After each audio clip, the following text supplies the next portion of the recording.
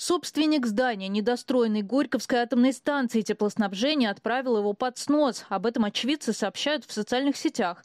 Восьмиэтажный недострой. Земельный участок располагается в селе Федяково Кстовского района.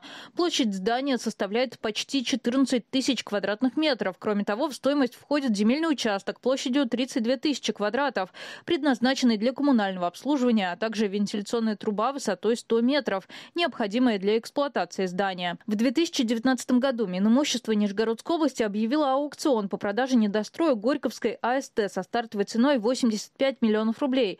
В ходе торгов ее удалось сбить до 42 миллионов. Победителем аукциона стал ИП «Канашин». О планах использования здания предпринимателям не сообщалось. Однако было известно, что на продаваемой территории размещены базовые станции четырех операторов мобильной связи. С компаниями заключены договоры аренды.